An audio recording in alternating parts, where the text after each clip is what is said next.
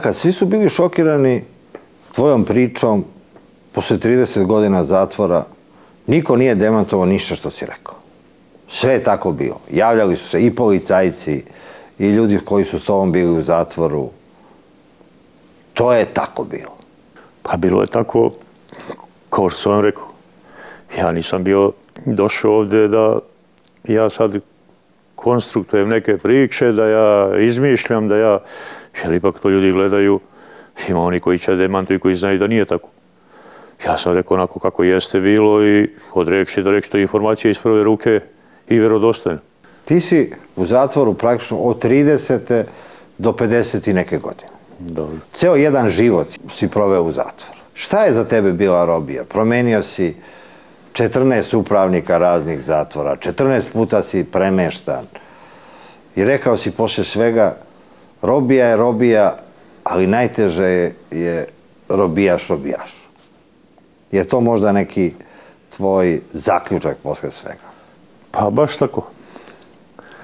To što kažete, ceo život, čuj, ceo život, jedan život je protekao.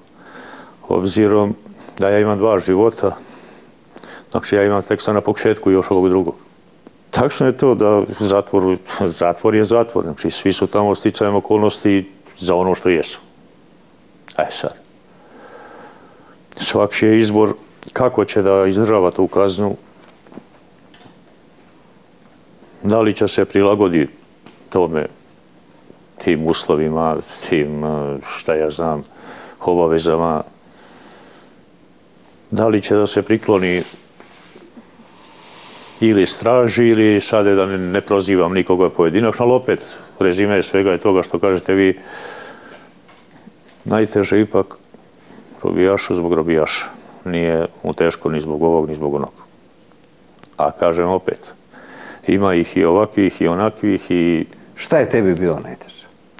Koje su to situacije? Što se samih osuđenih tiče.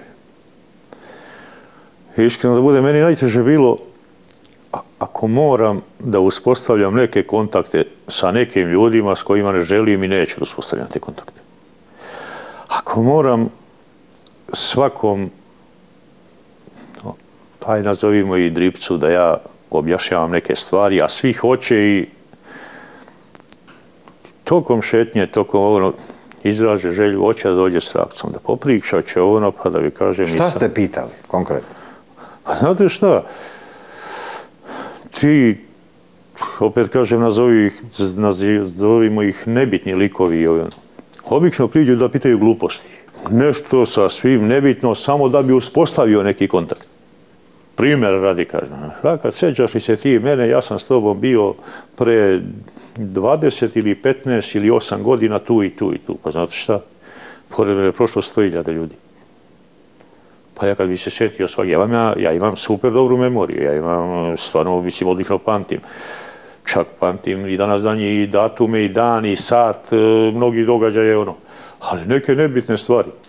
Ne znači mene ništa što ćete vi sada mi kažete, ja sam bio rak s tobom tad i tad, tu i tu. Hm, bio tu i tu. Pa bilo je tu mnogo ljudi tu i tu sa mnom. Primjer, kajem, bili, bili smo zajedno u Sremskoj Mitrovici. Pa Sremska Mitrovica je Sremska Mitrovica, ima hiljadu i po dve hiljade ljudi. Bio sam s tobom u Nišu. Bio sam s tobom u Zapeli. Pa ja kad bi spamtio svako ko je bio sa mnom u Nišu, u Zabeli, u Mitrovici, i ono, mislim, to, to gluposti budu vašte. Mene s jednom prilikom, posle nekog ekscesa u Zabeli, u avgustu mesecu 94. prebacili u CZ, navodno da sačekamo rešenje o premeštaju, ja i još dvojica osuđenih, njih su vratili jednog za Požareć, jednog za Niša. Mene su terali u Spuš. Ja sam se do Spuža prošetao turistički i bio sam u Spužu pet minuta i vratili me nazad za Ceciliju. A zašto tebe u Spužu nisu primili?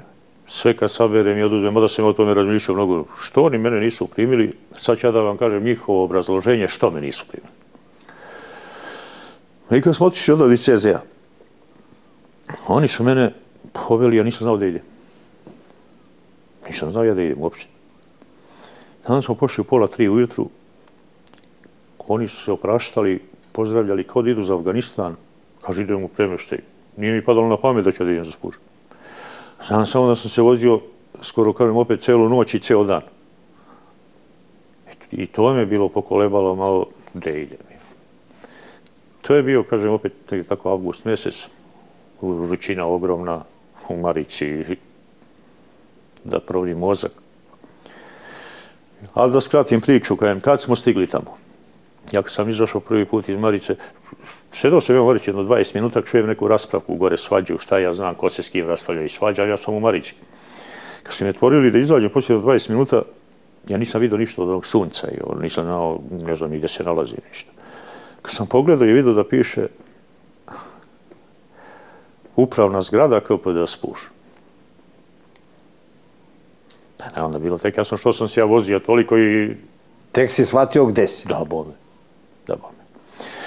I prilazi jedan nadzornik, ili jeste nadzornik je bio, drži onaj kovjerat i ovi što su doneli dali mu i pita mene, doslovce, znači citiram. A Ivanoviću kaže, šta što ti hoće? Ako ne razumijem kako šta će ovdje. Pa šta ćeš ovdje? Pa došao, doveli. A gdje su te doveli? Pa doveli mu u zatvor ovdje, gdje su me doveli. On me gleda i kaže mi ovako. E, nećeš ti ovdje, jebi mi oca. Ja mu kažem, kako neću? Pa neću za budvu, ja nisam pošao na more. Nisam došao ni kod tebe kući da ti neš da me primiš, došao sam u zatvor. Neš, ođe, jebi mi oca, kaže. I daj onaj kovirat ovoj straži što me dovela i oni me gledaju i kažu, rakat skoro idemo. Gde idemo sad? Kaže, idemo nazad. Nisam ja to mogu da shvatim, mislim, nisam mogu. Ja to ne mogu da shvatim ni danas za njim. A zašto tebe nisu primili u spuštu? Šta si ti smet? Ja opet kažem, Meni danas danje nije jasno zašto me nisu primili. Ali, navodno, navodno, to su mi posle rekli, navodno nisu se usaglasili Ministarstvo Srbije i Ministarstvo Crne Gore. Mak čujte, pa čujte priču. Nisu se usaglasili. Pa ako se nisu usaglasili, kako su donali to rešenje o premeštaju?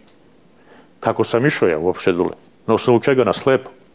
Šta, Crna Gora ima svoje zatvorenike, Srbija svoje? Pa dobro, bilo je ministarstvo Crne Gore, onda ono vreme, ko što je bilo i ministarstvo Srbije. Mogli su da prime nekog ili da ne prime? Mogli su i da prime i da ne prime, znači nikako... A su iz Puža dolazili zatvorenici u srpske zatvore? Pa su osuđenici iz Puža su dolazili, na primjer, u KPD bolnicu Beograd, u Bakšanskoj, koji su dolazili normalno na lečenje, koji su dolazili, dolazili su iz Bosne, iz Bosne su dolazili, znači, molim lepo. Ali opet kažem, nisu se usaglasili. Pa u redu ako se niste usaglasili, što ste oterali dole? Nego uspužili lepo, videli, došao je Rakac, no nama ovdje ne treba. Jesi ti bio toliko opasan da nisu smeli da te... Pa nisam, da kažem, nisam ja bio opas, čujte opasan. Ovaj, ali tad je vladala ta fama po zatvorima i ovo Rakac kad dođe. Ja sam imao 18 premešteja. A kakva fama je o tebi bila u zatvoru? Pa, bila fama da god dođe rakac, prevrne zatvor. Prevrne zatvor, šta? Baš tako. I ja sam bio pet puta u Zabeli, pet puta u Nišu, dva puta u Mitrovici, dva puta u Istoku, da ne nabrajam redom. Kažem opet, ja sam imao sam nespremeštaj. Taman se negde malo čovjek stacionira, počne normalno ono malo da pliva, ono oni me pokupe, ajde idi tamo, idi tamo, idi vamo, idi vamo. Mislim, A što su te toliko premeštali? Ne mogu ja sada da kažem, e, krive je uprava, krivo je ministarstvo, mada ima slučajeva kad su oni bili, ono, ko onda kad su nas prebacili, rekao sam u istok, je ono, oni su znali, ne može niko mene da ubedi, nisu oni znali da zatvor ne radi. To je potpisao direktor za rješenje krivičnih sankcija, Zodan Stevanović rješenje. I niko ne može da kaže, nije znao, znao je. E sad, što su oni to uradili, oni to najbolje znaju. Ko dakle, što... za tebe je cela zemlja prvi put čuva kad je u televizijskom dnevniku objavljen snimak iz Zabele gde ti stojiš na krovu kotlarnice i pretiš da ćeš da se zapališ jer su ti spojili kaznu. Na 20 godina dodali su još 7 godina. Po čemu pamtiš taj dan? Zašto se ti popeo na krov? A vidite kako, pamtim po tome i danas do se držim toga. Da ja nisam ni idiot, ni kreten. Da bi izdržavao nešto što u zemlji ne postoji. Prvo, u to vreme ja sam bio u kotlarnici gdje sam sebi prostoriju sredio, mislim u bukvalnom smislu, kad se kaže, kao kod kuće. Imao sam ja tu i frižider, imao sam sve, znači nikakvi problem nije. Na polju je bilo minus 20, kod mene je bilo unutra plus 30.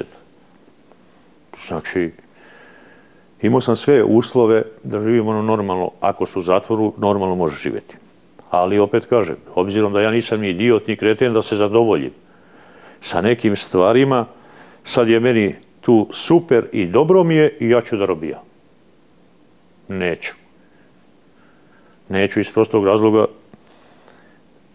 To je se dešavalo sve 2003. godine, 9. Eh, januara na današnji dan. Meni je dete tad imalo dve i po godine. Pa da mi kažem, ako neću da se bori zbog samog sebe, ajde da kažemo predose. Hoće da se bori zbog svog deteta. Što bi ja izdržavao nešto što ne postoji u državi, što bi moje dete bilo kući sa ženom samo, a ja izdržavam ono, hoću se boriti zbog deteta. Neću da se zadovoljim s tim što imam, nego hoću da isteram pravdu, da me puste onako ko što sam izdržao, pošteno, sve što sam imao izdržio.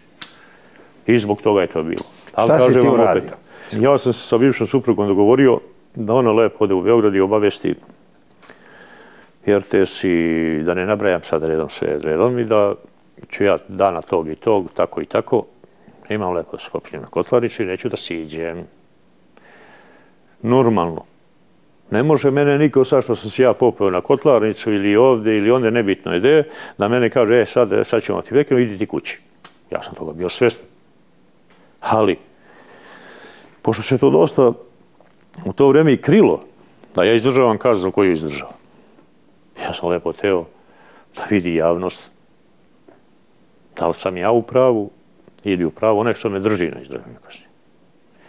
Tako da su bila došla na kapiju reportažna kola i jedna i druga i treća i nebitno je. Ja sam se lepo popao na kotlarnicu, ali da maler bude još veći, ja taj dan nisam mogao da odložim nikako, jer to je već bilo sve završeno. To je bio najhladniji dan u godini, minus 21. Čekaj, dole je, u kotlarnici je plus 30, ti se penjaš na krov minus 21. Baš tako. 50 stepeni razlike. Baš tako. Ovaj, sad, na toj hladnoći opet gledam šta je meni problem bio. Ja u životu kapu na glavu nisam stavio. Ni do nas danji, ni... I u oči sam imao problema najviše zbog kape. Ja sam sve to vrijeme proveo gore, kažem opet bez kape, dobro, obuko sam ja normalno koliko sam mogu da se obučem i ovo ali ipak je minus 21, minus 21. Ja nisam gore bio 12 minuta ili 24 minuta, nego sam bio 24 sata. Šta si ti tražio? Šta si ti rekao? Spalit ćeš se benzinom, šta si rekao? Ne, nisam ja rekao, da mi kažem, nisam rekao da ću se spali. Tu je malo, ima tu malo i naduvani stvari. Ja kažem, ovo je informacija iz prve ruke. Prvo što sam ponio, ponio sam mobilni telefon ponao sam mobilni telefon i ponao sam vodu i tu koja mi ništa se nije služila, jer to se zaledilo odmah gore i nisam mogli da koristim. Ovaj, imao sam i benzin. Što? Što je straža pokušala da se popenje gore. Oni su razbili jedna vrata i ove pokušali se popenje gore, ja sam rekao, ne možete priđete ni jedan, nema šanse. Znači, nema šanse. Prvo, vi ono odavde ne može da me skinete. Drugo, koji god priđe da me skine, ne može da me skine, neću da dam da me skine, a ne može da stojimo gore, hoće popadamo dole 30 metara svi. U novinama je tad bilo da si ti uključio struju u vrata i da svako ko bi ti se približio, pao bi od strujnog udara. E, nije to. Nije to. To je pisao tako novi. Dobro, opet kažem, oni sad brkaju malo lomčiće i ono što kaže babe žabe. Ja sam struju iz elektromotora priključio za vreme pobune u prostoriju dole gdje sam ja spavao sam. To je tad bilo, nije bilo to... Ja opet kažem, novine kao novine, ona je nešto nakšuo i sad ćemo da pišemo. I to se piše. I to narod čita. I to se veruje. E sad, pitanje je da li jeste ili nije tako. A šta jeste? Jeste da sam ja struju priključio, opet kažem, u prizemlju u podrumu kuhinje, gdje sam ja radio na održavanju hladnjače i elektromotora i kad je bila pobuna, tad, tad, dešavalo se što se dešavalo po zatvoru. Bez straže, 30, 40 dana, 50, nebitno je. I onda možda zamislite šta se dešava po krugu bez straže. Bilo je tu svega i svačega. Pravo da vi kažem, ja nisam teo da dozvolim nikako iznenađenje, jer ja tu moram da spavam, ja tu moram da prenoćem. Pošto su svi znali, kao što su znali da sam ja uvijek bio obezbeđen, a vrlo dobro i tim i cigaretama i ovim i onim, ono sve što zato da treba. Nije mene bilo nužno da ja uopće razmišljam da li će mene neko udari u noć na vrata, da li će da dođe ovdje ili ovdje. Međutim, a obzirom da sam ja došao malo u konflikt, u konflikt, u stvari su prostavio se ja jedini. Pokojnom Paki i tu njegovim vojnicima. Ko je Paki? Paka je bio Pavlović, jedan slobodan Paka, koji je navodno bio gazda, vođa u Zabeli, to ono, čujte gazda i vođa. ovaj, ja sam im usprotivio za neke stvari. Što? Što su oni lepo otimali ljudima, prebiju njih 5, 7, 8 čoveka, otmu mu ovo, otmu mu, ono, išli su gore, razvaljivali su, razbijali, uzimali i ja sam s tom usprotivio. Oni su kako udarali na mene bili. Ali nije se završilo onako kako su oni bili planirali da će da se završi. Pa posle ja njih nisam teo dostaviti na miru. Nego kažem, opet sreća je sva u celoj toj priči što je se meni čerkica Olga rodila 6. decembra. Pa sam ja morao malo čisto zbog sebe, malo zbog nje, da to malo izbalansiram. A inače, mislim da ne bi bilo dobro nikako, ni za mene, ni za njih. Ali dobro, kažem opet, to je bila priča prošla. Znači ti nisi 2003. 2004. kad je to bio, nisi uključivo struju, to je bio ranije. Ne, ne, To je bilo 2000. za vreme pobune, znači ja 2003. i 2004. ja nisam imao nikakve mogućnosti ni to kako bih ja sproveo to gore. Mada dobro čujte sprovede, ali ne vidim logiku i ne vidim efekat toga. Šta si ti imao na krovu? Samo benzin?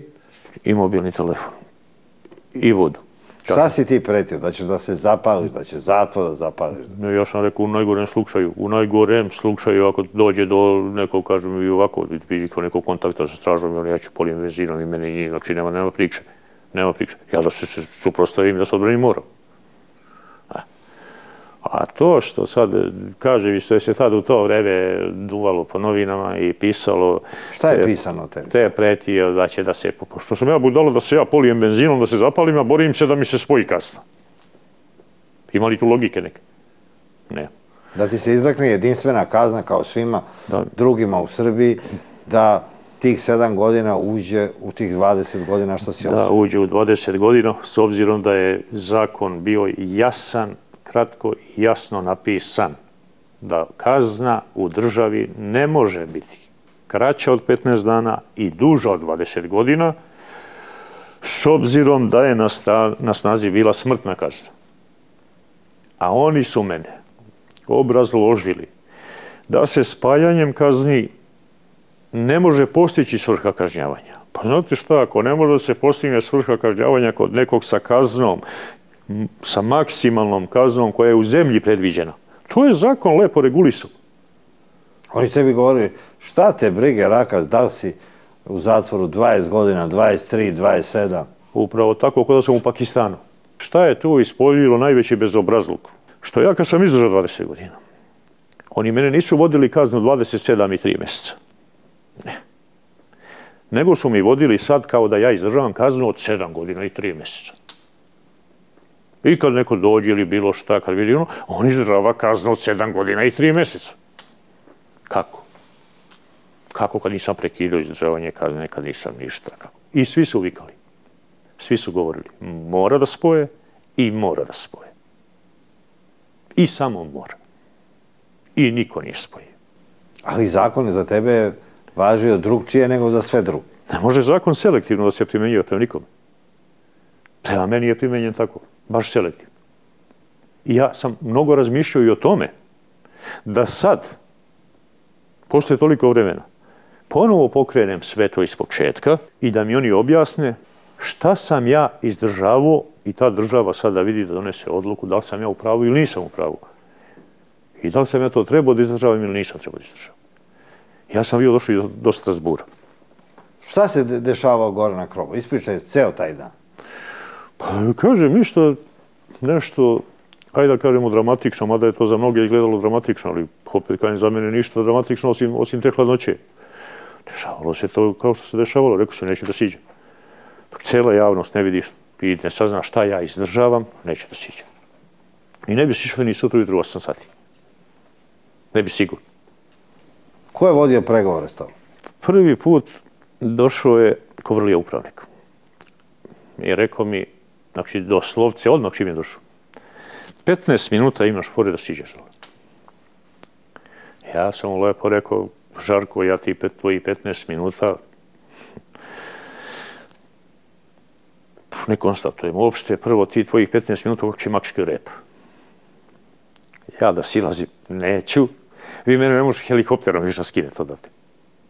Neću. Čak i straža kukala posle kad ih je postavio, ono, morali se odežuraju tu po 10 minuta, jer na svaki 10 minuta su se smenjivali zbog hladnoće. I sad oni mene zovu, rakat, siđi, smrzo sam se. Pa vi se smrzo se za 10 minuta, a ja se ne smrzo za 24 sata. Na kraju kraju vi primate platu za to. A ja se borim za život. I kažem, ne, proveo sam ja gore, s obzirom kažem da sam imao mobilni telefon. Kome se javio? Zvali su me svi redom i sa RTS-a, iz Niša, iz... Da ne nabrajam šta ja znam. I ono i sa svima sam normalno u kontaktu. Šta ti oni kažu, šta ti njima govore? Pa, pitaju me, sa RTS-a na početku dnevnika su, su uključili direktno i pitali su. Ti se uključuju te iske dnevnika? Direktno. Šta te pitaju? Pitaju me šta, zbog čega, kako, šta. Ja sam im lepo rekao i objasnio što sam tu i kako sam tu i kako sam se našao tu i molim lepo. O sve su oni to... Aj, Ali opet kažem, ne može mene RTS ili tadašnji BK ili šta ja znam i ono da mi oni spoje kaznu.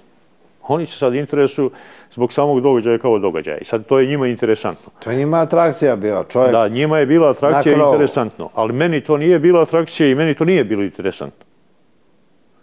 Meni je bilo interesantno da mi se reši pitanje toga i da vidi javnost, opet ponavljam, šta ja izdržavam. To je meni bio za cilj. Je te zvao neko iz policije, iz eh, tužilaštva, iz ministarstva pravde dok si bio na krovu? Nije. Nije me zvao niko.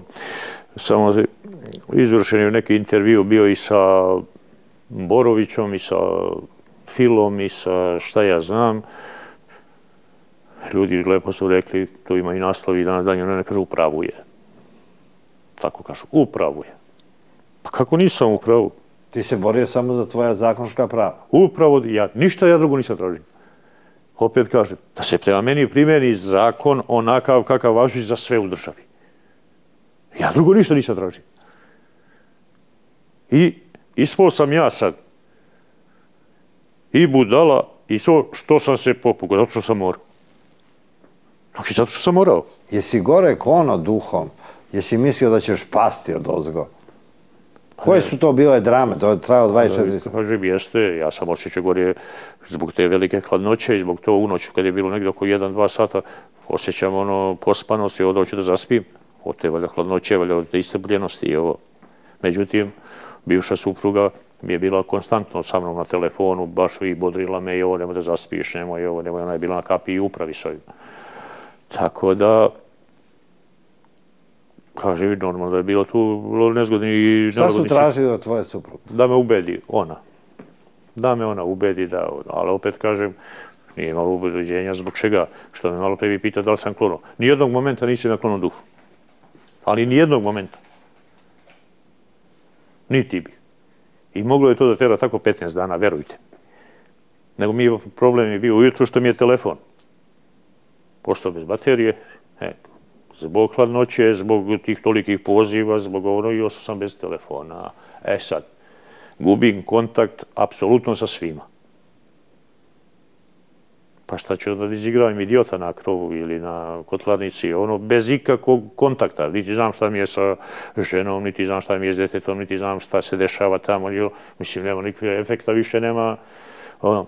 Međutim, došao je jedan u 8 sati ujutru nadzornik Radulović, on je danas danji u Požarevcu, jedan izuzetno korektan čovjek i ono, on zna da sam ja uvek verovao, jer nikad me nije uradio za nešto. I ovo, i ono, verovao i on meni zato što je znao kad nešto kažem da je tako, sigurno je tako. I došao je Radulović, kaže mi, sam je došao. Kaže, Raka, taj je siđe, žena ti kaže, upravi, dogovorila se s upravnikom i ovo, sa svima ti siđe, jer vidio se oni, jer sam se ja pola smrzu. Ideš odmah u Beogradu, CZ, kaže, ono, da vidimo da, šta ću, šta sam mogu sad opet kažem da glumim budalu, da ostanem, neću da se smrzem, znači što sad nije u pitanju, opet kažem, bila hladnoća, bio je pitanju telefon. I normalno, ja sam prihvatio to. Rekao sam mu, ja prema što sam išao, Raduloviću, ja tebi gledam u oči, da ne bude posle bilo ovako, ne kaže, kako sam ti ja rekao. I stvarno, sišao sam i prebacio sam mu CZ, odmah. Pa ipak su ti nakačili tih 7 godina. Pa dobro, dobro, dobro. Opet vi kažem, ja i kad sam se popao gore, ja nisam razmišljao, nisam ni očekivao i nije moglo meni niko odmah da kaznu, ja sam to znao. Nisu oni meni ništa izradili. Jer ja se nisam ni nadao da će mene odmah kazna da se spoji. Ja sam, kažem, imao za cilj samo da vidi javno šta ja izdržao. A da su oni lekno izradili, nisu mi izradili ništa. Jer ja od njih nisam ništa ni očekivao, nisu oni mogli šta da urade drugo. Ja sam otišao za CZ. Ne sad da kažemo izradili, možda su me tu izradili. Što sam bio u CZ u 5 dana, pa došli u subotu, pokupili i vratili me nazad. Kako su izgledali pregovori? Nema više pregovora. Pregovori su više završeni. Ja sam išao, ja sam otišao u CZ ne zbog ovog ili zbog onog, nego što sam bio promrzio. Pa su me potrebili u bolnicu da... Ovaj, zato sam otišao u CZ. U CZ-u nije bilo više nikakvih pregovora. Šta si ti gore na krovu razmišljao? Si razmišljao o svom životu? U takvim situacijama čovjek mora da bude i smiren i trezven i bez obzira koliko ga povukle emocije, koliko, mislim, mora. Ponavljam opet, ja sam se najviše popao zbog svog deteta. I to što kažete, da li mi je onda bilo nekad u podsvesti, pošto se vrzla sve po glavi, da mi nije ni do života, ni do ono, nije. Ni jednog momenta mi nije bilo. Opet kajem. Jesi mislio da će možda da puca i da ćete skinuti od ozgo kao gojnenog mm -hmm. goluba? Pa da vi kažem, ja sam bio spreman uvek i očekivao sam od njih sve. Ali,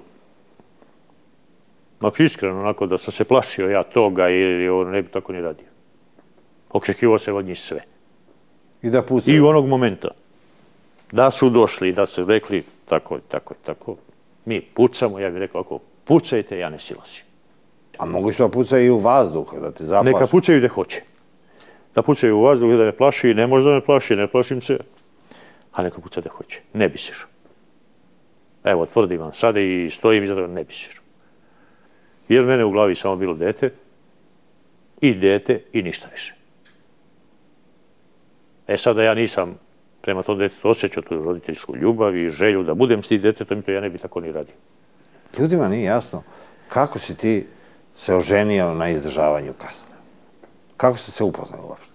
Pa da mi kažem ja, ja da sam teo na izdržavanju kasne, da se oženim pet puta, do sada ja bi se oženio. Nego, Imao si bračne ponude dok si Nego, bio? da bi kažem, nije to, šta znam, to je samo po sebi nekako spontano. Kako si upoznao Vesnu? Najviše sam upoznao tako što mi je u posjetu došla majka, došao mi jedan dobar prijatelj, drugar, ja mu danas dan kajem u bukvalnom smislu, pošto ja vraćam moj brat, koji je danas dan u Kraljevu, koji je došao za mene, sad kad sam izlazio iz uh, Miša Fantom iz Kraljeva, on je došao sa suprugom i majka mi je došla sa, daj nazovimo tu komšinicu tu ili od tog Miše i to ne je nego poznanica, A ona došla i ona izrazi želju da vidi kako ti ljudi žive u tom zatvoru, šta rade, kako se obhode prema njima, da su to normalni ljudi. Da li... I došla i ona. Vesna je došla. Da, ona je završila paralelno novinarstvo i trgovinu. Znači, čisto ono, zainteresovanost ono, da vidimo kako Ona je došla iz radoznalosti. Da, bome. Mi smo tu ispostavili kontakt, kako smo uspostavili i odmah od... Šta ona tebe pita uopšte? To kad se, ka, kako ste se upoznali? Pa sad, mi smo bili tu na posjeti u sali normalno i posjeti, čisto razgovarali neformalno, o, vidjela, ona je vidjela sve normalno čovjek, da nisam, mada sam izašao tad, nikak i, i samice kod Tribuna Ivković sam bio i samice sam došao na posjetu. Ovaj, I pravo da vi kažem, taj kontakt tako spontan je bio i ona je se vratila, napisala mi pismo, ja napisao njoj i to je pokušalo tako danas do sutra, danas do sutra. Ona je meni poslala tu potvrdu da smo navodno u toj vambračnoj zajednici. Pokušala mi dolazite posjete od tri sata tamo vamo, to je išlo, ona je prvi put došla kod mene 7. jula 96. I to je tako išlo do 2000. I 2000. mi se rodila čerkica sa njom. Pa smo se mi tada i venčali 2000. Ono, A gdje ste se venčali? U Požarevcu upravi. Ovaj, umovi smo bili i Jotka dolazio, kompanija. Straža obezbedila upravu kao da se kao da će Al-Qaida izvršiti teroristički napad.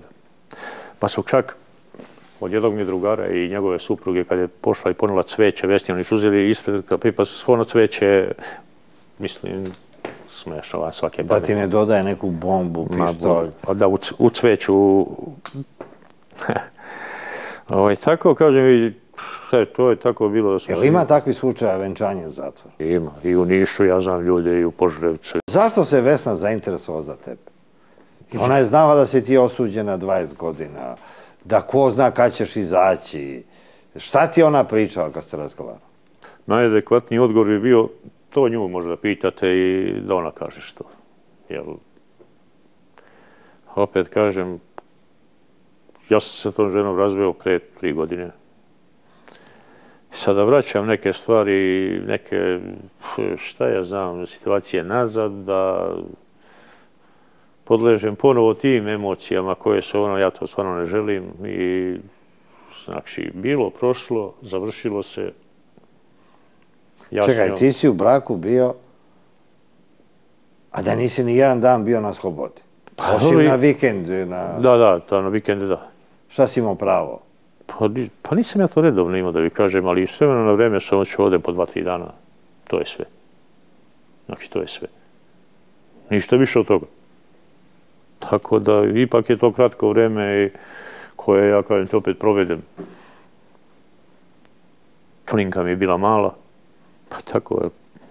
Ono, jel, znate šta je dva dana, tri dana? Odete, budete, prenoćite jednu noć, drugu, mora pakujete spremate da se vraćate nazad. I puno sam puta ja uhvatio od sebe da ne želim da koristim te vikende. Jer kad se vratite, teže vam je ono, sad dva, tri dana što ste bili, pa se vratite nazad, teže vam je posle ide ono samo izdravljanje kaznjenja, nego, nego uopšte da niste bili. Šta je čerka misla? Gde si ti nalaziš? Pa ona je bila, kaže, ona je rođena 2000. godine i ona je konstantno nju je Vesna dovodila. U zatvor? Ona je nju dovodila, znači odmah i kad je prohodala i kad je ona je to navikla se, bila ona je kod mene dolazila redovno sa ženom. Ona je mišljala da ti radiš u zatvoru. A nije ona ni znala, ona je bila mala. Ona je bila mala, nije ona mogla to da skonta ni šta je, ni... Da.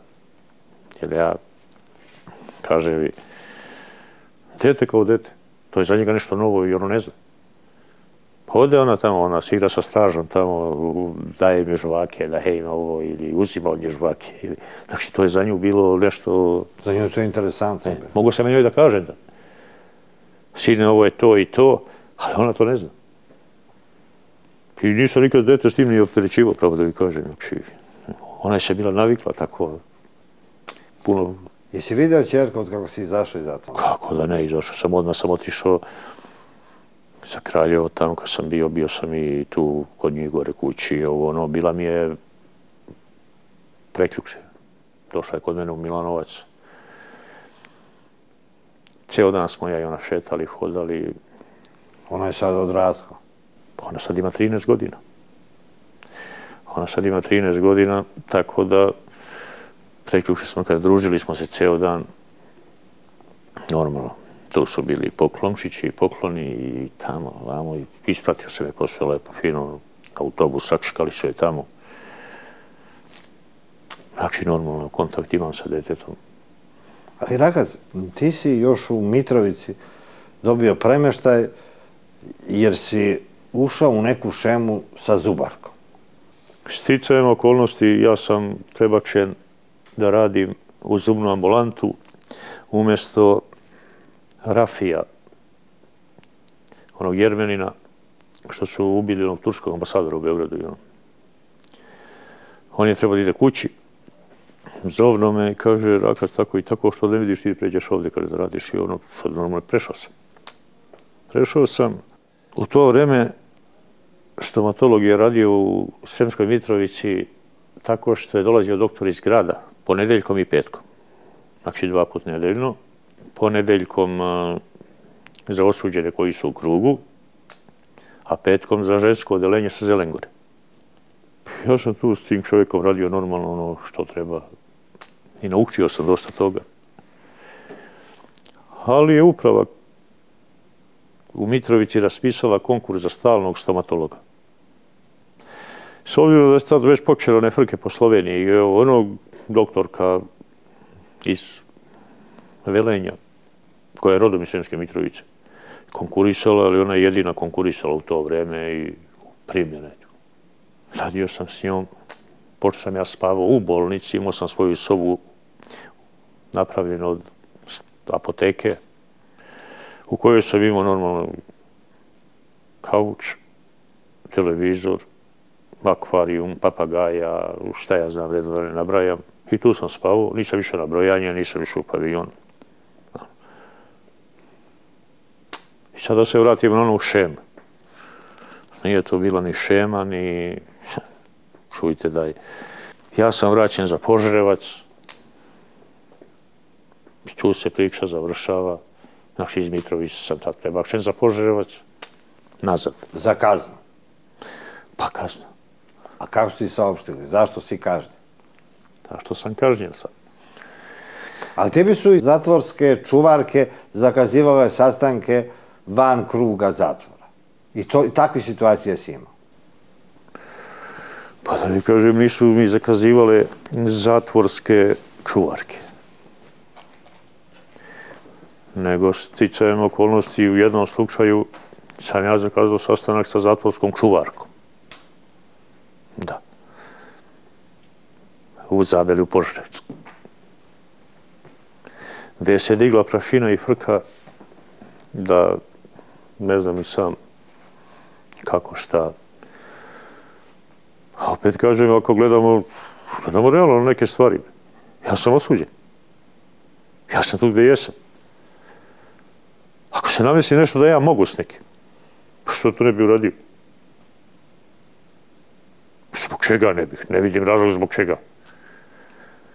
Je to nešto na prevaru, je to nešto na silu, je to na kraju krajeva taj koji je sa mnom u kontaktu, zna s kim je u kontaktu, pa ako to odgovara ili Zorici, ili Ljilji, ili... Bilo koje.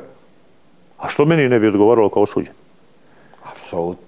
A da li ko žena možda postoji neki izazov zatvoreni, kad ona shvati da si ti normalan čovek i onda da, da može da joj se svidiš?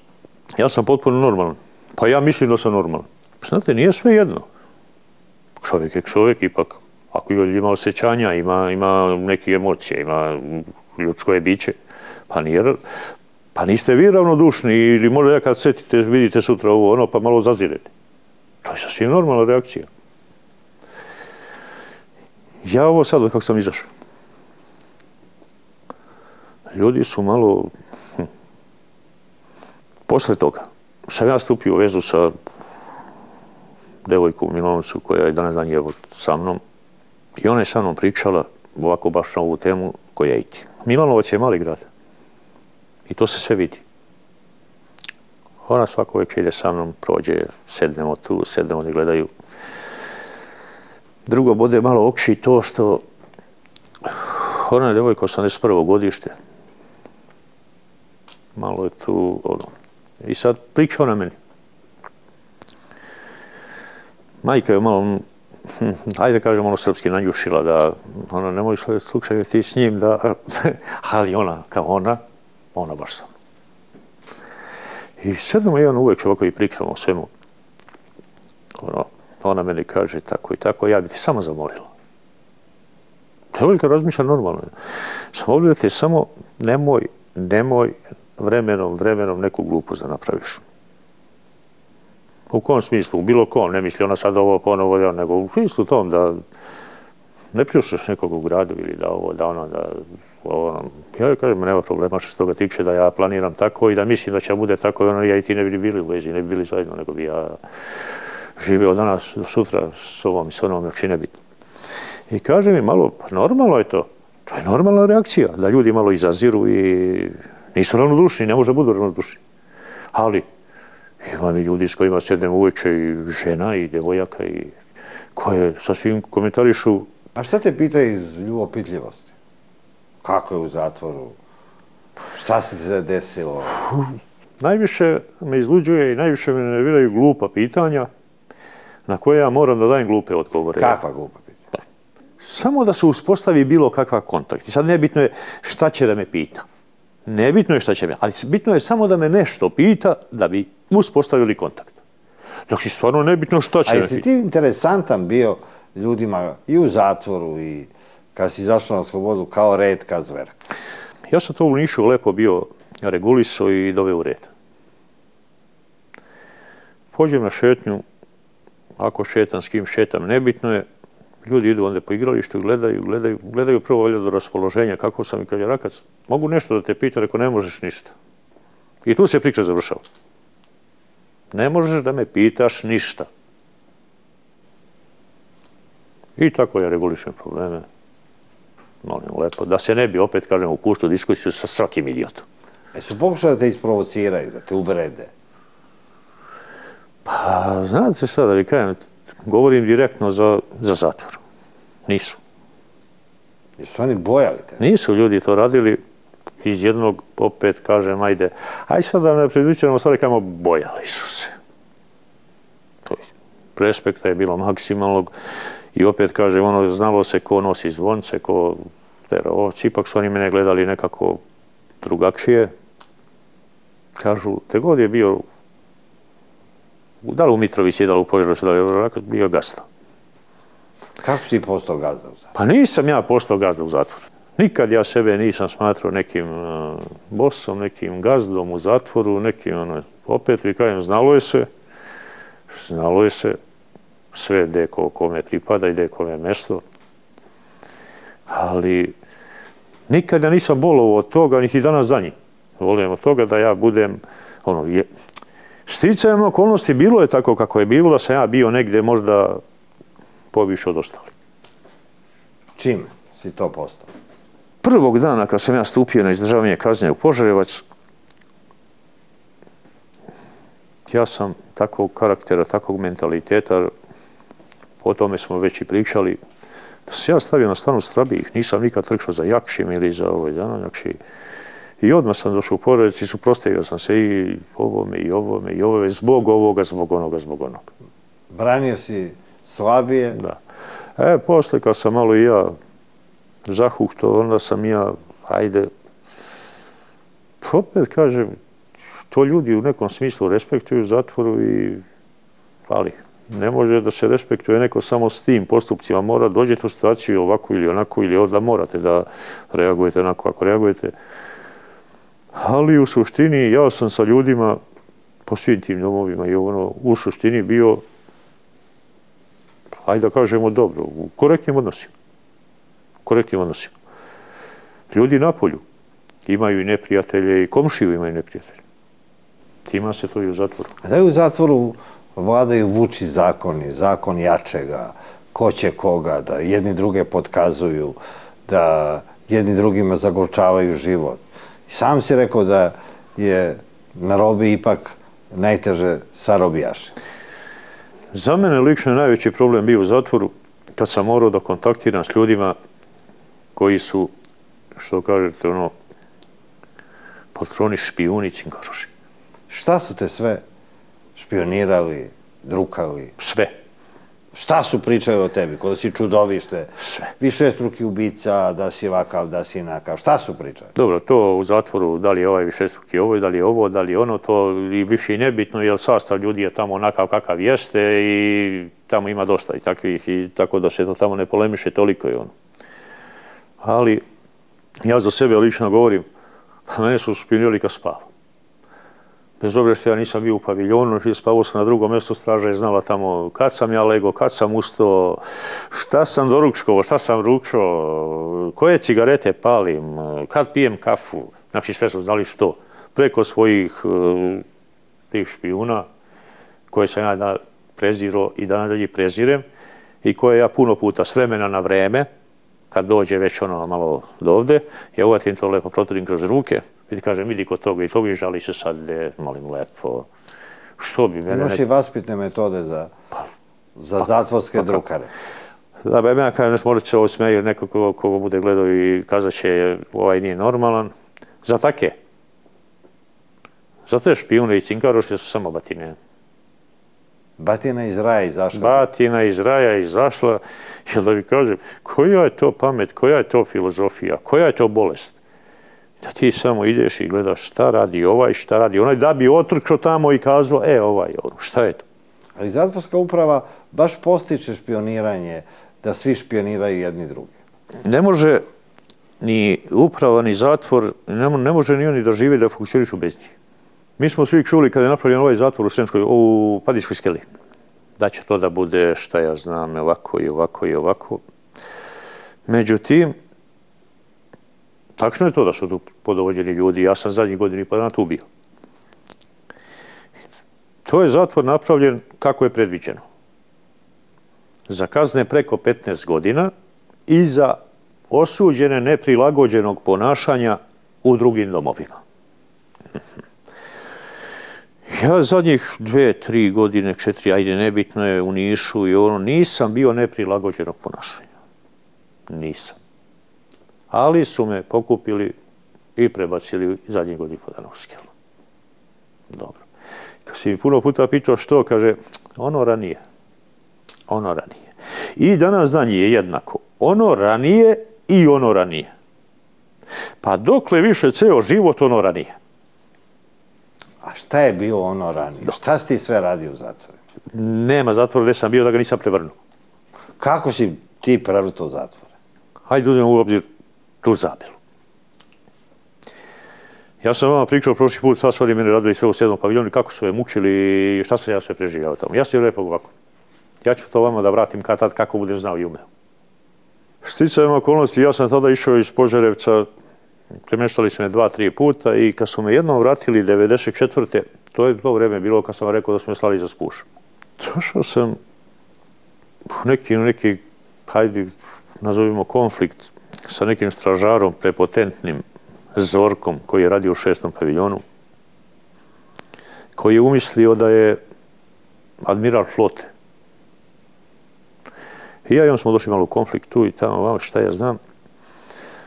I on mi je rekao da će da sve rešimo kad se vrati s ručka, kad odvede paviljone. O, pa kad se vrati. Ja mu kažem, šta ćeš ti sa mnom da rešiš, idiote? Šta ti sa mnom ima da rešavaš? Prvo, ti sa mnom ne možeš da rešiš ništa i bez obzira što si ti tu stražaš si. On je bio malo prepotentan i dobro. Međutim, da ne bi rešao on sa mnom. Kad se vratili s ručka, ja sam lepo uzao sektere i pošao u kancelariju da njega lepo uhapsim odmah i da ga lepo izvedem lepo na krov i da ga vešem za ogžak gore, pa da mu kažem ja lepo šta će on sa mnom da rešava. Ja sam lepo sa, sa pokojnim kujom iz Niša i sa Saletom jednim ovdje se uškina, dogovorili smo se lepo idemo da uhapsimo Zorka i da ga vodimo na krov. I mi smo pošli. Ja sam uvatio za vrata od kancelarije da otvorim, bilo je zaključeno. Ja sam onako skontio na brzinu ušao i vjerojatno se zaključio iznutra da je ovo. Međutim, on nije bio tu. On je izašao na drugi izlaz i otišao u pogon tamo gde su radili ovi da dovede radnike koji su radili produženu smenu. Ali mi nismo vidjeli kad je on izašao. Ja sam udario i razbio vrata od kancelarije, unutra ušao da uhapsim Zorka, misleći da je unutra, međutim on nije bio unutra. E sad kad smo već razbili vrata, šta ćemo sad radimo? Sad će bude frka i ja lepo uzim ključeve, popenjam se, otvorimo gore tamo, popenjamo se na krov, zatvorimo da ne može uđe niko i srušimo pola paviljona. Kako srušite pola paviljona? Lepo uvatimo i otkrijemo 12.000 smo strepova polupali tu noć. 12.000. Straža nije išla kući, pun krug. Ja sam rekao, kad ne može. Dovidite mi Zorka da on razgovara sa mnom. Znači, samo mi njega dovedite. Gdje su ga doveli? Pa već, ko sme da ga dovede? Ko sme? Ljudi nisu mogli da spavaju tu noć u paviljonu. Jer u šestom paviljonu je tada bilo 200 ljudi. Nego su morali njih sve da izvedu, da idu da spavaju po sedmom, po karantinu, po... po znači, što? Opet kažem što, eto što. Što kretenu čačkaš onda, ne, šta ćeš ti sa mnom da rešavaš? Došao si da radiš preključe i ti ćeš sa mnom nešto da rešavaš. Pa jel ti malo hiljadu i pol ljudi u krugu koje možeš da nađeš nešto s kim će da rešavaš? A ti si izabrao mene. A zašto izabrao tebe? Da se na tebi dokazuje. Jesu mnogi ljudi se dokazivali na tebe? Pa jesu. Jesu. E, upravo je to ono kako sam ja sade dospeo ili uspeo ono. Kako što se sa svim tim izborio. Ko je sve hteo da se ižiljava i da se dokazuje na tebe? Ajde da ne kažemo svi. Ali jedna ogromna većina. Šta su oni htjeli? Da tebe dovedu u red. Da tebe podčine. Već neko ako hoće nešto da normalno da hoće sve to. Sve to. I da poceni, i da, šta ja znam, i sebe da preceni. Šta su sve dobacivali tebi, što te uvredilo? Tokom celog izdržavanja kazne nisam ja imao situacija, nikad. Da te neko vređa? Da neko mi dobaci ovako, ono, bukvalno što kaže, da dobaci, da kaže nešto uvredljivo. Ja takve situacije nisam imao nikad. Zazirali su te? Da. Nije, nisam imao takve situacije. A je pokušao neko pa skupo plati? Nije, ali dođe tako do konflikta kad ti neko kaže nešto opet kažem na futbolu, na ovom ili na onome. Kad dođem ja u situaciju da nekom kažem pičko majmune ili ovo i ono, a on mi onda, valja ono, to je opet, godak ja to i razumijem, ono, ono, on se okreće, kaže, pa i ti si, ono, jesam li jesam, ja pušću ti kažem. E onda uvatim posto lepo, ja, ono, kažem da nisam. Jesu li te tu? Nikad. Prošli put sam vam rekao da sam dobio 15-20 palica, onda kad smo oteli uhapsimo ovaj, tribuna, to je nekaj kad smo oteli uhapsimo, rekao sam udario pripravnika u sobi. A htio si da uhapsiš i upravnika zatvora Trivona Ivkovića? Da, zato što, zato što je kreten idiot, dripac žukela i nema me pitet kojim bi ga sve nazvao. Na kraju kraju nenormalan čovjek. Nenormalan pa čovjek. što ga nisi uhapsio? Pa rekao sam što nismo, zato što je to jedan od učesnika koji je trebao bude s nama ovdje iz Beograda otišao i rekao da se tu sprema to i to i da on neće da učestvuje u tome i onda su pohapsili nas. Pa jesu vas tukli da? Ne. Niko nas nije pipnuo, rekao sam samo što su što nas vezivali ovako, mučili mene i Petrića, stvarno nas mučili, ono, maksimalno, ovaj, niko nas nije pipnuo prstom. Znači ovako, niko, niko nas pipnuo nije.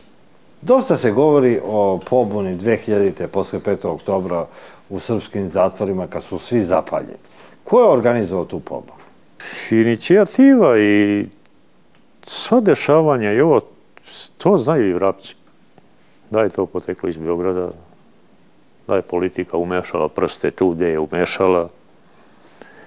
I znači, ja znam danas danji ljude koji su na položaju, evo i koji su danas danji ministri. Koji su organizatori te pobune? Koji su kontaktirali s ljudima direktno, tad u zatvoru, koji su vas pitali... i gurali u pobunu. Da li je to bio kontraudar, zatvorska pobuna zbog rušenja Miloševića i Petog? Sve je to bilo, da vi kažem, sve je to bilo u sprezi jedno s drugim, sve je to bilo u lancu dešavanja samih i na polju. Ali opet vam kažem, hajde da sad, ne iz straha ili daleko bilo, ja, ja se ne plašim toga. Ali kažem, evo i danas danji ljudi koji su ministri su tad bili u kontaktu s ljudima koji su tamo radili ovako, ovako, u kontaktu, evo ovako. Da li su vas ti ljudi posticali da izdržite do kraja, da zapalite sve pred sobom? Ma da. Ma da. Pa upravo je ono što sam ja vama rekao, kad sam ja pričao sa Kovrijom Blanušom Marićem u upravi, u Požarevcu. Ja sam rekao, neću da učestvujem u tome da se od mene neko pravi marionetu, da me drži na komčiću i da mi diriguje ti moraš ovako ili uradi ovako ili uradi ovako. Neću. Znači, neću da učestvujem u tome. Što? Kad je bilo pobunu u zatvoru, to je kad je počelo. Ja sam njima lepo rekao u Požarevcu.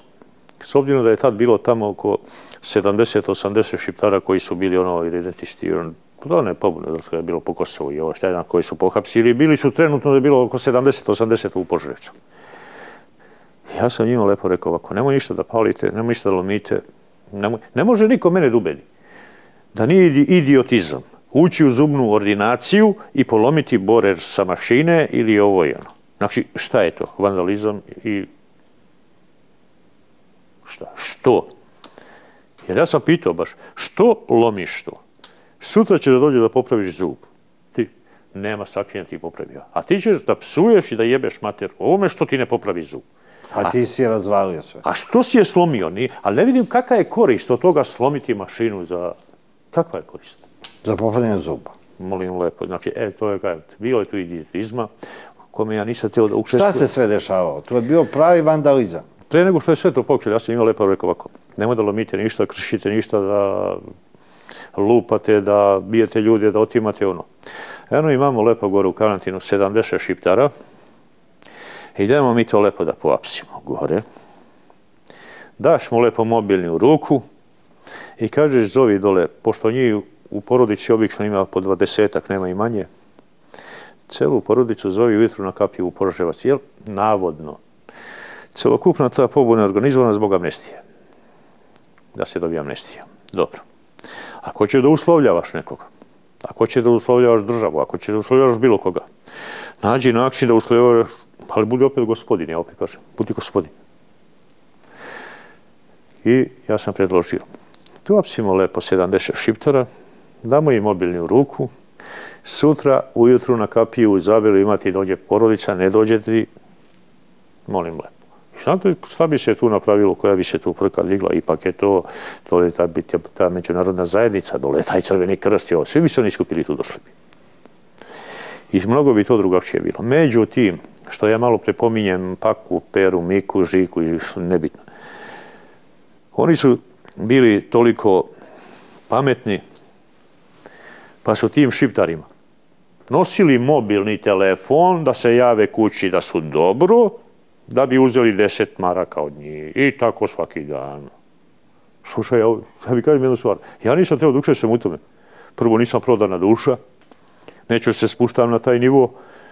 Da ja omućavam njima da se oni javljaju kući. Dakle, ovi te kažu, njima je dobro tamo, ovi nek pale, nek krše, nek lome. I nisam teo da... E, od tada ja više nisam teo da učestvujem u ničemu. Onda je zapaljeno redom. Sedmi paviljon, šesti paviljon, e, peti paviljon, e, šta ja znam. Gdje si ti bio u tom času? Radio sam u kuhinji dole ispod, održavao sam hladnjakšu. Čak su oni bili pošli da razbiju i hladnjakšu na semesu, ja nisam dao. Ja nisam dao. Ja sam tu radio, ja sam zadužen za to, ja odgovoram za to. Znači, ne može da razbijete, nema šanse. Može preko mene samo, inače. Nisu mogli da razbiju. Ovaj, ali kažem vi, nije mi se svidelo, ne samo vandalizam nego drskost, bezobrazluk, e, ko kome daje za pravo... Jesu oni krivi ko stoji za njih tokom pobora? Znalo je se odakle je to poteklo. Nije mogo niko preko noći, ni ja, ni vi, ni ovaj, ni on je kao, e, sutra ćemo napraviti pobunu, gotovo. Ajde, onako. I pobuna po svim srpskim zatvorima? Sinhronizovano. Svude. I u Nišu, i u Mitrovici, i u Požarevcu, i, znači, odjedno. Svi su u zatvori počeli da gore posle 5. oktobra, posle rušenja Miloša. Da, bome. Šta je bio konačni cilj toga? Ja sada i pitam da li oni znaju šta im je bio konačni cilj, ja ne verujem da oni znaju. Jer su oni imali neke zahteve. Da. Ali opet, opet kažem, i to je bilo isforsirano Šta su oni tražili? i plasirano iz Beograda da to bude kao pokriće za pobunu. Šta je to? Amnestiju. Oni su tražili opštu amnestiju. Amnestiju, ali opet kajem, to je bilo pokriće i bilo ako sutra pitaju što su zatvori gorili, ovo, pa kažu, ovo jaši tražili amnestiju. Da. Pa je bilo čak i obećano tad. Pa ja znam, dolazio i Spahović, dolazio je i Marić, dolazio je Glanuša Kovrlija, da ne pričam sad redno, dolazili su svi. Tu je bilo i obećanja i svega i dobro, međutim, kaže, bila je amnestija, jeste, bila je kakva? 10%, 15%, onaj ko je prvi put u ovu zatvor ima, vidite i sami da je 17% povratnika. I ko je dobio? Nego nije, amnestija nije bila cilj. Amnestija je bila pokriće. Šta su hteli zapravo? Kaos u zemlji, da, znači, u bukvalnom smislu da bude anarhija i javašuk. Da se kompromituju nove vlasti? Normalna stvar. Normalna stvar. Da se kompromituju. Sve, opet kažem, ne mogu ja sad da izmislim toplu vodu, jer izmisli pametniji od mene. Svi mi znamo to šta je bilo, opet kažem, odakle je poteklo... I kako se diriguje zatvorima i... Da, bome. Znači, to je bilo opće poznata stvar i mada i posle toga, posle toga kad je uspostavljena navodno ta demokratija, navodna demokratija, demokratija u zatvoru. Pa ja mislim da su neke stvari mnogo gore i ovo nego što su bile ranije. Rakas, da su tebi nudili da budeš drukara, špijun, da cinkariš, da bi ti dali neke bolje uslove u zatvoru? Uglavnom je to ljudima nuđeno, ne kažem i ne tvrdim sad ovdje da je to nuđeno svima. Šta su tebi nudi konkretno? Meni lično, konkretno, govorim znači iskreno od reči do reči. Nikad niko nije u zatvoru ponudio da budem špijun, da budem cinkaroš. Verovatno, verovatno, opet kaj možda iz razloga, što su me poznavali onako kakav jesam i vjerojatno su znali da ja to neću da prihvatim. Kako da budeš špijun kada je trebao tebe špionirati? Pa upravo i to pričam. Znači, meni lično nikad niko nije ponudio. Znači, stojim iza svake svoje reči. Da kažu, raka, sad onda se dogovorimo da ovo ono, ne, jel znaju da bi odmah reagovao na to? Sigurno bi reagovao i to možda malo... Onako... Oni su znali da si ti beznadežan slučaj, da nisi za špion. Nisam, upravo tako. Jer znate šta, mora da budete i pogodni. Mora da budete... Hm, ali ne, ne bih rekao da mora da budete inteligentni, a budete špijun. Mora da budete mnogo glupi da bi bili špijun. U zatvoru mora da budete glupi da bi bili špijun. A kakve povlastice su špijuni imaju? Pa znate kakve povlastice imaju? Imaju povlastice da kad ja saznam, na primjer, da je špijun, ja uvatim prebijem getovom povlasticu. E, kakve povlastice? Pa i ta straža ne volite špijune. Ali oni su im korisni. Oni su im korisni za, zbog tog neformalnog sistema u zatvoru. Zbog tih neformalnih grupa. Zbog, e, znači, špijuni, bez špijuna nije moglo ni u drugom svjetskom ratu, ni u prvom, ni za vreme Turaka, ni nikad. Pa ne može ni u zatvoru. Evo, malo pre smo rekli, ovaj kapet, ono što je napravio kapet zavod u Padinskoj skeli. Znači, podlovođeni su ljudi, oni za koji je predviđeno su tu. Tamo pola ljudi imaju po 30-40 godina zatvora. I ljudi koji su, kajem, opet neprilagođeni. Ali kad vidite, izađu na šetnju, vidite ko je sve na šetnji. To je smešno. Ali što su oni sad tu? Pa mora da ima i taki. Ko je od ovih kapitalaca bio u Padinskoj skevistu? Ali baš dosta ljudi iz 40 godina. Ali baš dosta. Gdje su to ovi crvene beretke? Ima i Joka, ovaj mali je tamo, ovaj, sve bio s ovima u Zemunskom, mada on, hajde, nebitan. Tamo je Darko Nikolić. Da ono pušačko što su bila naplaćena ubistva. Tamo, tamo, tamo je jedan iz grupe, one što su Miloš jednu celu porodicu pobili tamo. I, ono, tamo, mislim da vam ne nabrajam, sad ima ih stvarno... A ima zemunaca nekih ovo tamo? Pa zato što te, taj organizovani kriminal, organizovani, oni su uglavnom u specijalnom još ili su u ovo specijalnom u Požarevcu u Požarevcu. Tako da iz sve te organizovane te kriminalne grupe i ono ne dovode tu, to ide tamo na... Da li u zatvoru postoji hajat? Figurativno oni to zovu hajat u CZ ulja. Zovu ga kao hajat, što, što je palja, taj smeštaj malo bolji, te malo, malo, malo kaže nešto, malo se gleda kroz, jel, ali tu ne može svega doći. Mogu samo oni koji imaju zasluga za narod. Pa koji imaju zasluga na, za narod i koji je preporučen. Od, ono, mada ne znači, ja znam ljude, na primjer, neki koji su bili gore, s kojima sam ja opet i dobro i izuzetno korektnim odnosima i da kažu da su bili oni imali zasluga da bi bili tu, nisu. Nisu. Već, obzirom malo neki, ajde da nazovimo malo, malo rating, neki malo i ovo ono bili, e, mislim, tako je. Kako si upoznao svog kuma Jotku? Ja i moj kum Jotka se znamo, što kažeš, ono u bukvalnom smislu od malena.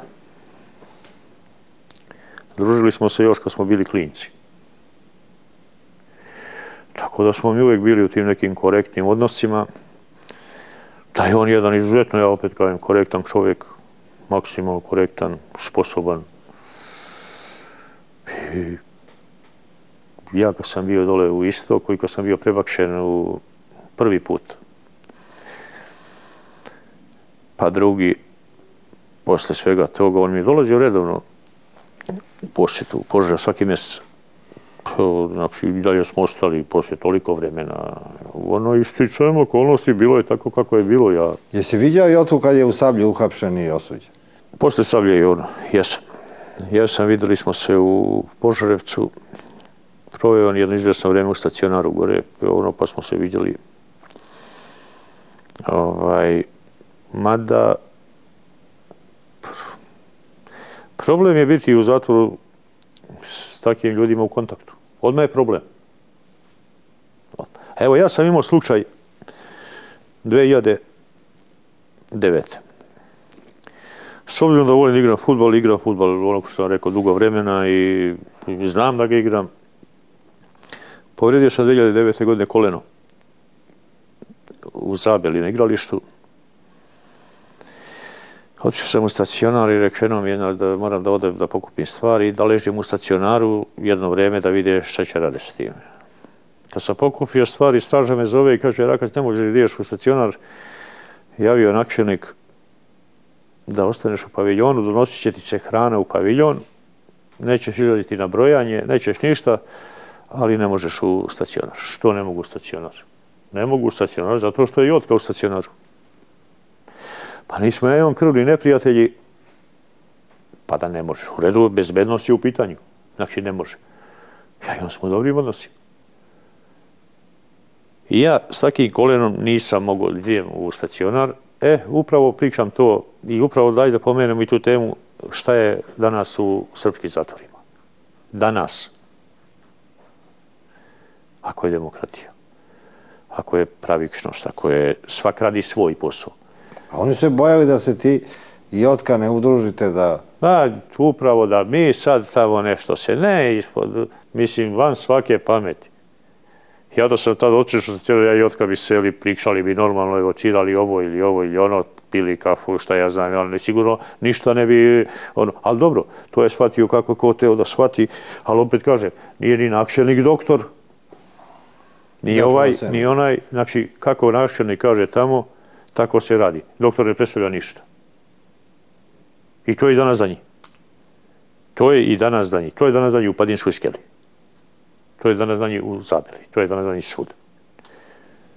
Kako si upoznao uh, Sinišu Petrića Zenicu? Nisi prošli puta pisao tačno.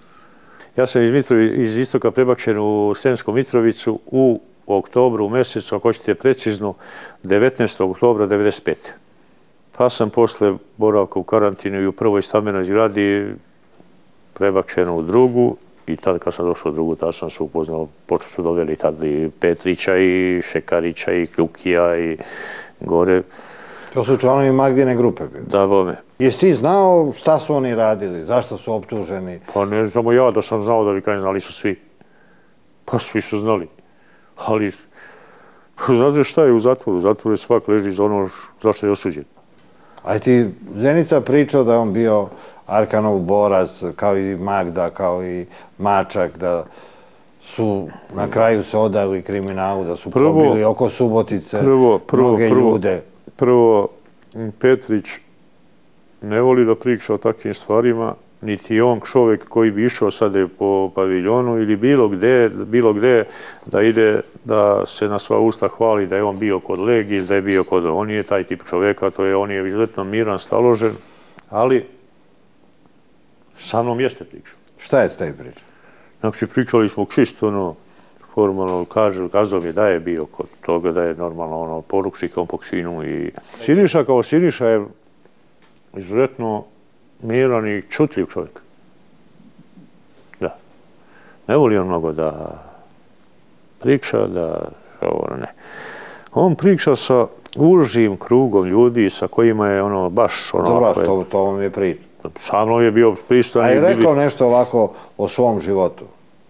On je bio i teohranitelj CC Ražnatović. Sniša je izuzetno sposoban mlad momak čovjek koji ne je preza od uh, ničega. Koga si prvo upoznao od žestokih momaka iz Beograda? To je grupa koja je ubila Ranka Rubežića, koji je bio strah i trepet u Beogradu. Da, ja sam pred njih upoznao i Fuku pokojnog koji je bio i on, i Bulaju, i šta ja znam redom. Sve sam ja njih upoznao. Sve sam ja njih upoznao, upoznao sam. Posle toga sam ja upoznao ove što su bili Ranka Rubežića i Borisa Petkova, Bugarina i... S njim si igrao futbol? Sa Borisom. Da. I jednako smo vadili okšija i on na futbolu. Kako ste vadili oči? Zato što je on na futbolu bio veliki živac. Veliki živac. I sad, ali sticajem okolnosti, mi smo uvijek bili na suprotnim stranama. On je bio u jednom paviljonu, ja u drugom. E sad, Boris kao Boris, vi znate, Boris malo, malo niži, on malo nabijen. I kad igramo te turnire tamo, ne sme niko, ne sme niko da ide na njega. Ne sme. Plaše se ljudi. I kad pođu, ono, oni lepo uvati, razgrne i onda i... E, Sada vi kaže, mene to malo kopkalo oči, što će mene jedan Boris Bugarin da pobedi, što što razgriće one moje indijance oko njega, onda ne sme nikog da ga napadne.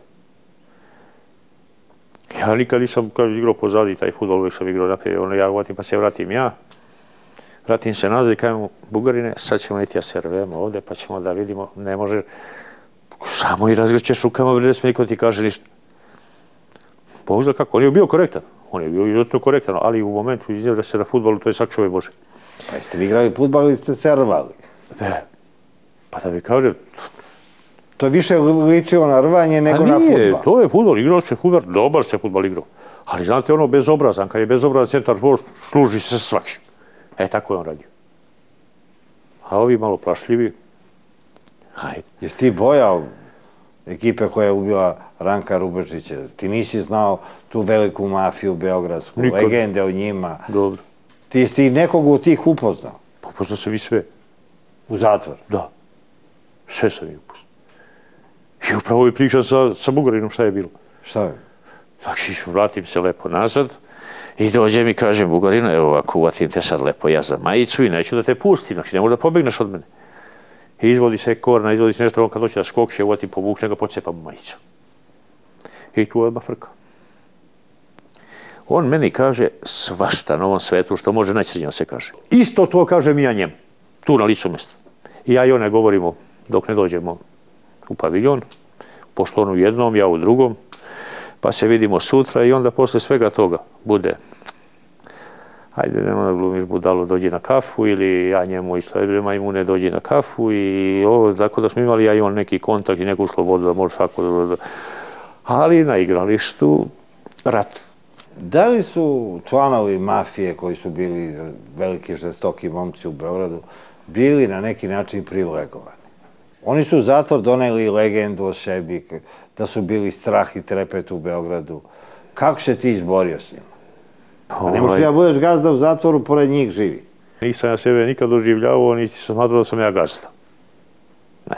Nego sam opet gledali, znalo se da je kome mesto. Je.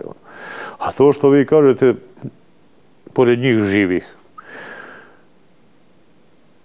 pa neće sigurno meni gazdovati Vuja i Dadilja. Prvo neće, drugo ne može.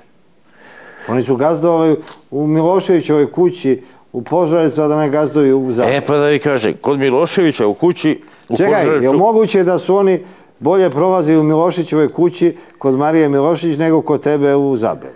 To kako su oni prolazili kod Miloševića u kući, to je njim, kod Miloševića može prolaziti tako. Može prolaziti tako. Ali, ne može pored mene da prođe jedan vuja ili šta ja znam, za koga sam ja rekao prošli put da bi namestio šest mjeseci usamljenja. I, ovo, i sad će i prođe, ajde, ajde, kod Miloševića može to da prođe, kod mene ne može da prođe. Ti si za njih bio gori nego Milošević. Pa, sa nije Milošević bio dobar. Mnogi ljudi su zapamtili, malo pre što kažete, ovog Jelića.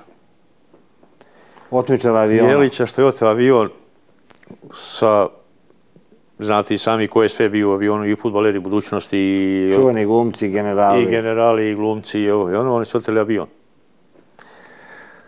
Što su oni taj avion oteli? Meni to na zdanje smešno. Oni nisu imali nikakve zahteve kao otmiče, nisu tražili ništa. Nisu oni tražili ništa, nisu oni znali kuće. Ovaj, a to su priče što vi malo pre, ono, razgovaramo, ste povezani sa grupom Bader Meinhof iz Nemačke. Ono, znamo mi dobro Andreas Bader i Ulrike Meinhof kako su uzeli Lufthansa avion, kako su oteli, kako su završili u Nemačkom zatvoru, to mi dobro znamo. A jedan Jelić ima veze sa Bader Meinhofom i ovo i ono, to je malo, malo Oni nisu znali ni kako da ih osude. Pa nisu znali kako da ih osude, jer Krivično deo otmice aviona nije pošto. U našem krivičnom zakonu nigde nije imalo, nije imao član da postoji otmica aviona. Nije to da ste vi uzeli sad automobil. Pa ono je bilo onda ranije pozajmljivanje, pozajmljena automobil. Pozajmljeni avion. Da, bome. Sad kako će dozvijeti pozajmljeni avion? I oni nisu imali taj član u krivičnom zakonu. Pa su morali da traže šta će, kako će, pa su još odili za terorizam što je onda bilo vrlo redko i kod nas nezamislivo. I dobili su oni ono, lepo, Boga mi. Baš su i valja za primjer da se to ne bi ponavljalo više. Koga pamtiš od političkih osuđenika? Bio si dobar sa Vladom Dapčevićem, legendarnim i Beovcem koji je bio srpski Mendela u zatvoru. Vlada Dapčević je u pravom smislu rekli srpski Mendela. On je čovjek Znate i sami, ono, iza vreme infobiroa je ono izdržao kaznu toliko na golom otoku, pa evo, pa sticajem okolnosti, on je nastavio se bavi tim što se bavio. To je bio pravi komunista. I ti priča kako je otet iz Bukurešta i doveden? Otet je u Bukureštu stavljen u kombi vezan ko vreća. Sad se sjećam situacije kad bi prišao da su mu ruke bile daleko bilo, to je bilo, kaže, nemo krv, on je ležao pola mrtav u kombiju. Čovjek bio, bio van svesti, ono, oni su njega ipak tako prebacili vamo. Vlada kao vlada, ja bih kažem, ja tog čovjeka nekog nosim u duši, ono, kao, kao gotivca jednoga i koji što čovjek mnogo pametan, inteligentan, načitan, eh, prošao isto koji ja Vjetnam i Hirošimu. I bilo mi je žao kad sam čuo da je umro. S ovom u zatvoru u Zabeli su bili i čuveni profesori kao Mihajlo Đurić, e, onda neki disidenti. Jeste vodili neke političke razgovore? Pa da mi kažeš slabo iz prostog razloga što nekako nisam ja naklonjen i nisam sklon vođenju tih razgovora što se politike tiče. Ali ti si njih branio od ostavi kriminalaca koji su po nalogu uprave htjeli da im maltretiraju? Nije ovo nikako, što ja znam, preveličavanje stvari, ono, vladu nisu mogli da maltretiraju uopšte. On je bio drkšan, bio je čak i on skako. Dok je bio Tacić i ovo, kad neko krene od straže da bije nekog, on skače, on skače, galami. Iako je čovjek e, u godinama i... Bez obzira. Bez obzira. Ipak je on bio i od strane osuđenih maksimalno poštovan, stvarno poštovan i znači, Sigurno je tako. Gotivili su ga ljudi. Gotivili su ga ljudi. Jer i on je bio takav stav zauzeo i tako se ponašao da je volio da pomogne ljudima, da je volio da zaštiti, da je tako da nisu mogli njega da maltretiraju. A su ove druge intelektualce maltretirao? A znate kako, to vam je obično, obično u zatvoru biva zavisi koliko si mi simpatičan, koliko nisi. Sad, sam stav taj, neko se postavi malo odbojno prema onom, ipak je to privlačenje bede na sebe. Ko je u zatvora istokratija? Da li opovi, ubice ili politički osuđenici? Ovi svakom misli da je on glavni. Ti politički osuđenici, zašto su bili ranije politički, ovaj, nisu oni doživljavali nikakve to, opet da kažem, ajte te neprijatnosti ili ovo i ono. I oni su bili u nekom svom a, tom fazonu i svetu. I oni su i na izdržavanju kazne u zatvoru. Njima je uvek politika tu. I nisu oni, šta ja znam, tu u kontaktu sada ako se dešava ovde, ovo, ono, oni su van toga. Njega interesuje politika i ne interesuje ga ništa drugo. Može i zatvor da se prevrne, opet on misli na politiku.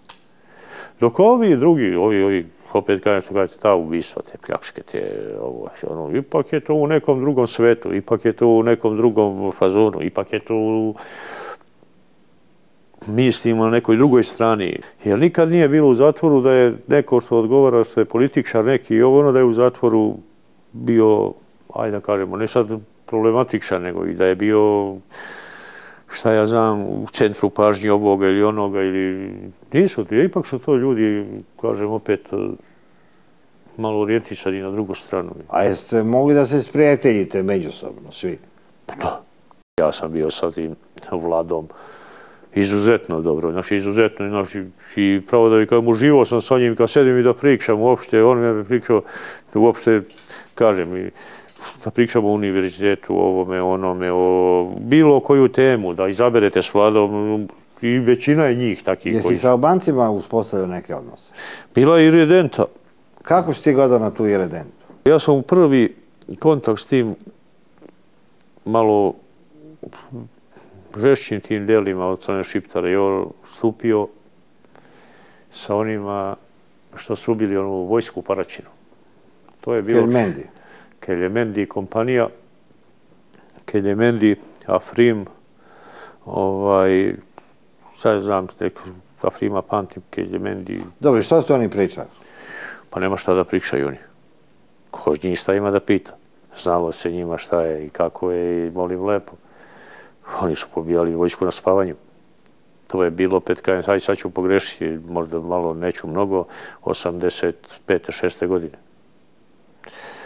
Ovaj, to je bio šok i za javnost, pa i za nas u zatvoru, ipak tako postupiti.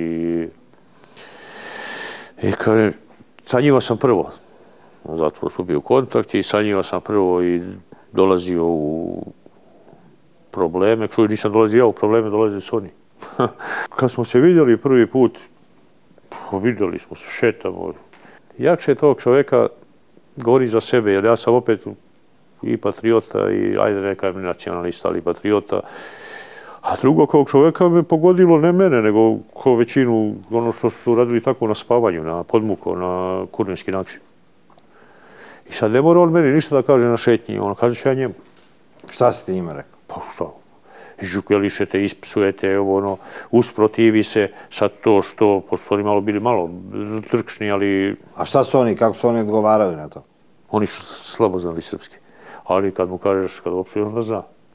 Samo psovke znaju na srpskom? Pa no, znali su i ovako, ali, ali nije to to bilo. Jeste njih prebio tamo? Pa što? Pa što? Pa ako ti možeš da ubiješ dete otišlo da služi vojsku, I ti gubiješ na spavanju. Pa šta očekujete? Aj sad dođete u zatvor. Aj šta očekujete? Pa šta treba da mu, znači da mu napravim ne kafu, da ga ponudim, ćeš mleko ili ćeš s vodom ili ćeš e, svake pameti. Svake pameti. Doživljavali su oni razne traume i u zatvoru i ovo i ono, ali opet kažem, i oni. Oni su hm, pali na izdravanje kazne posle mene. Podobijali pa kazne od 20 godina. I svi su izašli pre mene. I kažete pravda. Pravda. Što je čovjek razrokšara? Što je čovjek... Ljudi koji su znači, ušli u paraćinu kasarnu, koji su služili vojsku tu, uzeli automat, ušli u spavaonu, pobili nedužne ljude na spavanju. Dobili su kaznu koliko sam ja bio dobio, izašli su pre mene. Ja nisam mogo izaći. Je li to pošteno? Je li to... Niste vi da sudite sad da li je pošteno ili nije pošteno. Ni vi niste tu da sudite. Ali pitam, sad pitam i bivšeg ministra i onog što je umro i jako je umro. Nek mi kaže, sad nek mi odgovori neko, je li to pošteno? Pa naravno da nije. Pa svi znaju da nije. Svi znaju. Ali ja sam to preturio preko glave. I ja živim s tim. Da bi danas, što malo pre kažete, rekli. Pa ljudi, znaš, prikši komentar, srećom, ja kažem, za mene ljudi nemaju loše komentari. Zato, posle svega šta se desi? Posle svega. Zato što znaju da sam izuzetno kao čovjek pošten. Korektan. Maksimalno. Znaju šta sam sve preturio preko glave. Znaju da neću da uvredim bez razloga. Znaju da neću ništa da uvredim bez razloga. Znači, ja stvarno, i posle prošle emisije, posle, ja uopšte nemam negativnih tih komentara. Rakac, kako si spavao u zatvoru? Jesi imao neke košmarne snove? Ja sam u zatvoru kad spavam. Spavam ko beba, ali spavam ko zec. I danas danje. A jesu li ti u snu dolazili oni košmari, ono ubistvo u Kragujevcu, na Voždovcu, ono u zatvoru, jer su ti filmovi te opterećivali nekad? Nikad. Mrtvi ti nisu dolazili nikad. u san? Nikad, nikad, nikad, nikad. Nikad. Ne mogu da se sjetim da sam jednom samo sanju da mi je došao neko i rekao mi što ne pobi sve ove gore na Voždovcu. nije, nije nikad. Oni su bili zaslužili, oni nisu bili zaslužili Beretu, oni su bili zaslužili Hekler gore. Posle svega što su mi radili. Ali dobro, ajde i to da zaboravimo. Kažem, nisam. Hoću, šalim ovo da... Nisam imao tih problema. Je ti nekad u san dolazila tvoja devojka i njena majka koja si ubio u Kragujevcu? Ne. Znate šta, možda bi to i bilo i možda bi se to izdešavalo i kad čovjek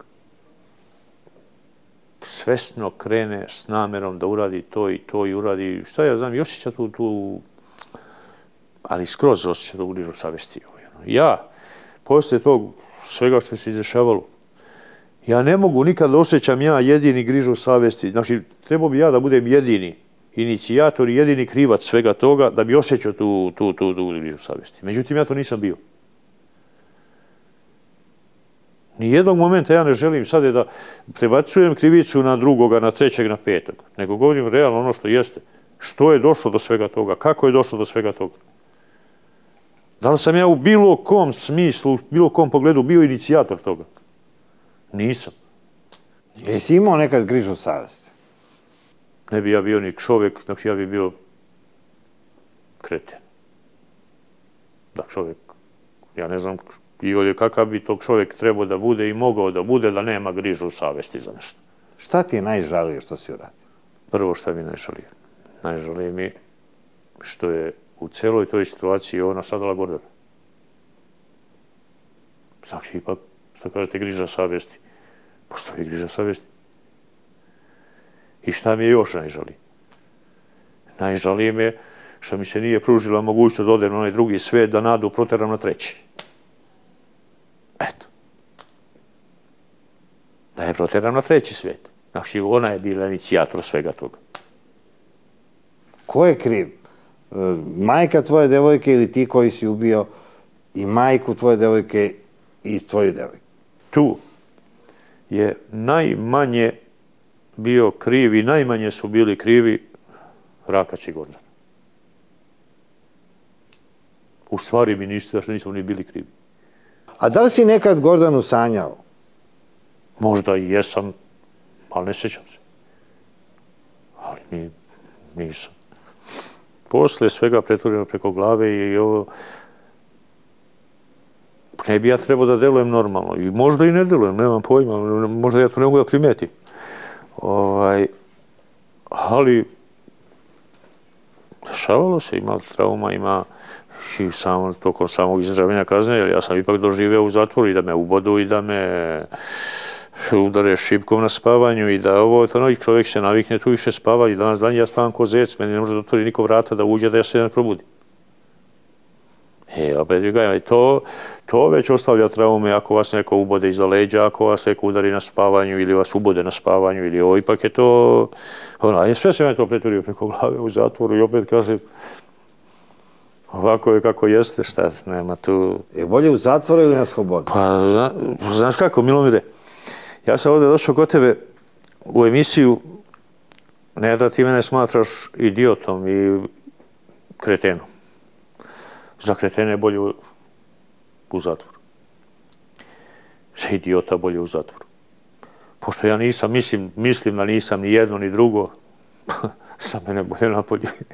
Ali neki ljudi na slobodi se osjećaju kao u zatvoru i smatraju da je makar u zatvoru nešto izvesno u Srbiji, a da na slobodi u Srbiji ništa nije izvesno. U zatvoru je izvesno da imate gde da legnete, U zatvoru je izvesno da imate tri obroka zagarantovana. A to niko nikome u Srbiji, nijedna vlast ne garantuje. Ne garantuje.